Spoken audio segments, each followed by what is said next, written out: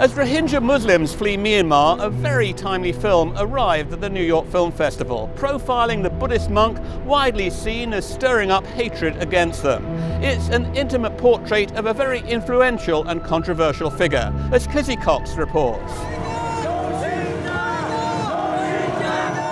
With these searing images, director Barbet Schroeder shines a harsh light on what a top United Nations official calls a textbook example of ethnic cleansing in Myanmar.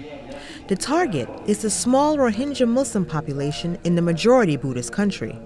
The instigator of this anti Muslim violence is seen by many as the powerful Buddhist master Ashin Wirathu, who's been charged with using the specter of Muslims taking over Myanmar to strike fear in his audience.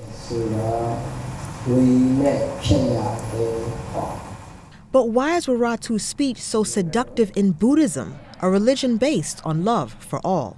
That's why I, I made the movie because I wanted to understand how it was possible for Buddhism. I wanted to have uh, to understand why this was possible coming from that religion.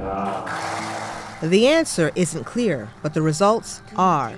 Alleged Buddhist attacks on Muslim homes, rapes, and other atrocities have driven more than half a million Rohingyas out of Myanmar in the past two months.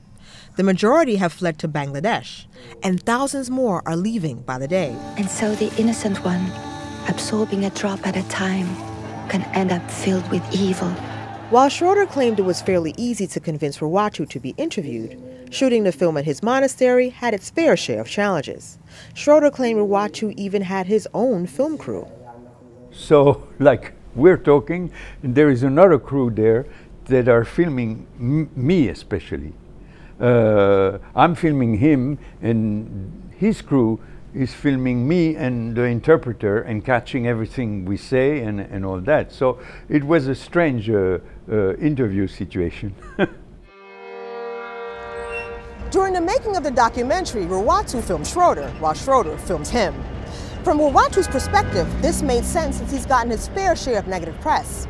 Back in 2013, Time magazine dubbed him the face of Buddhist terror. But with views that are in direct contradiction to Buddhist principles, why don't other Buddhist masters do more to push back against his hateful rhetoric and stand up for Rohingya Muslims? Because it's not in the temperament of Buddhism to push hard or to talk hard. In the Buddhism, they, the real Buddhists, they have a soft way of doing things. The film, which makes some political points, moves beyond Myanmar to show how Wirathu is thinking internationally.